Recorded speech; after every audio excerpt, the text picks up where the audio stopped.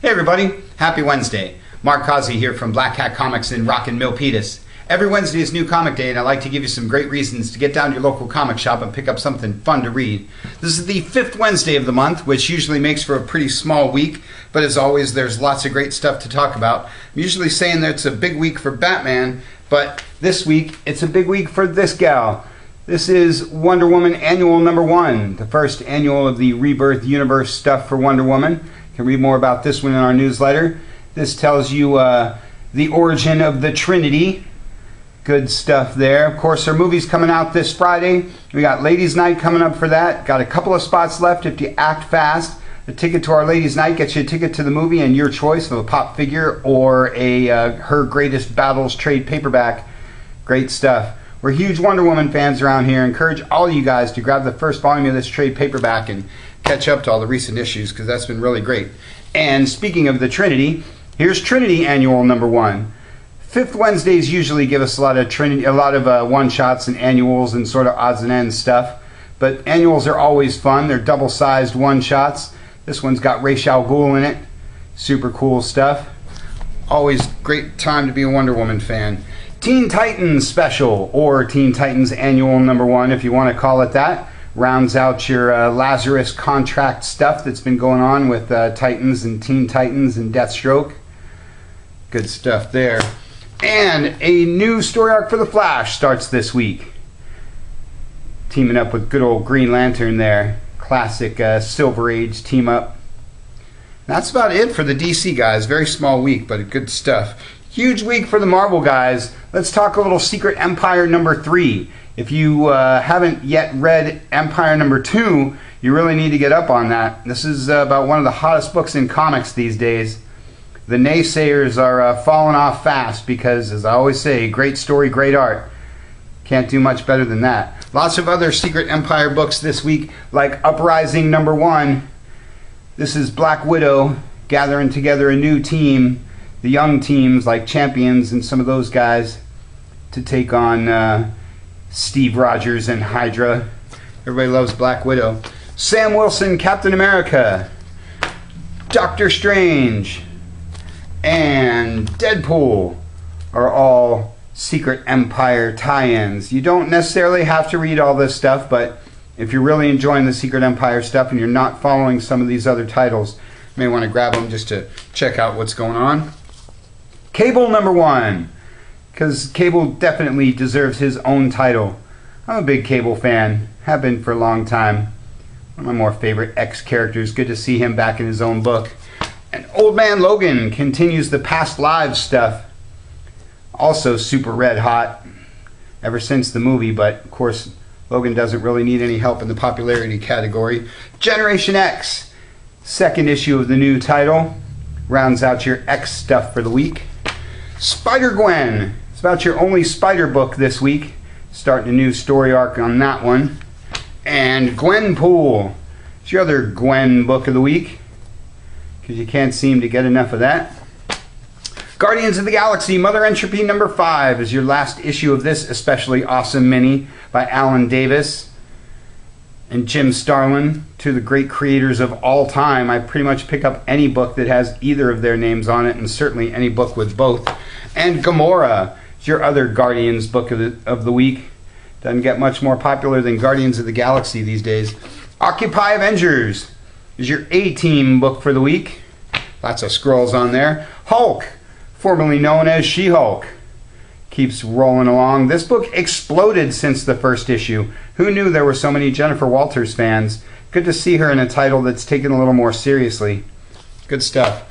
Moon Knight and Deadpool versus Punisher, along with Thanos come from the dark side of the Marvel Universe. This Thanos book has been really good. Uh, I would encourage you to check out some of the back issues of this. Uh, this one's number seven, but I'm all sold out of them, so you'd have to uh, go to another dimension to grab some of those or wait for the trade paperback. But this book has been awesome because, well, it has Thanos in it. And Star Wars Dr. Aphra rounds out your Marvel stuff. This continues the Screaming Citadel thing that's going on between this book and Star Wars proper. Can't say enough about what a great job Marvel's been doing with all that Star Wars stuff. And it's a great week for all the other guys, too. How about a triumvirate of Mignola? This is Lobster Johnson. This is Joe Golem. Done with Christopher Golden, who's awesome. And this is The Visitor. Yes, three Mignola books this week. How awesome is that? Always encouraging you guys to get up on the Mike Mignola stuff. Creepy, cool, superhero, noir, sort of a fusion of just about every genre out there, really. And Aliens, Dead Orbit. It's your other Dark Horse book of the week because I'm always saying what a great job they do with Alien and Predator and Conan and pretty much everything else they do. And a great week for Image, too. Saga is probably your favorite Image book. Maybe it's tied with Walking Dead as your favorite Image book.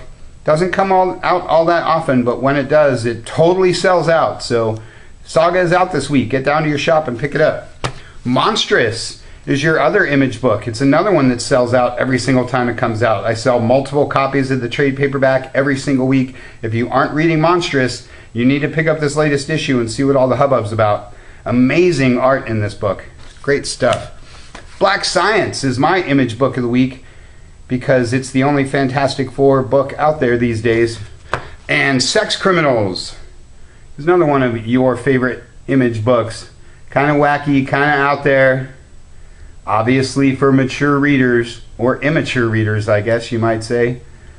And Kill or Be Killed is the last image book for the week. Again, super red hot.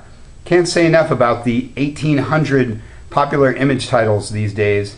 If you don't have an image book on your list, you're probably really missing out on something super cool. Vampirella is my dynamite book of the week because I love me some Vampirella and I love me some creepy clowns. There's also a Kiss special out this week, but I can't show you the Kiss book every week. That would make me seem biased. X Files is my IDW book of the week because I love me some X Files. Great stuff there. The Mighty Morphin Power Rangers 2017 Annual is the Boom Studios book of the week because everybody's digging the Power Rangers these days. Can't say enough about how popular this comic is. Sure took me by surprise. I'm sure the uh, folks at Boom Studios are pleasantly surprised as well. Josie and the Pussycats is my Archie book of the week, unless you're talking about the Archie coloring book. Really encouraging you guys to have uh, one of these many Archie titles on your list, like Archie, Betty and Veronica, Reggie and Me, Jughead, Josie, Sabrina, Afterlife with Archie. These guys are on fire these days. Great stuff. Pretty small week for the all ages. Steven Universe is your all ages book of the week. And Donald Duck with the especially cool Funko Pop cover is my all ages book of the week. So I'm always saying what a great job they're doing with this Disney stuff. Super fun to see the Disney guys in comics.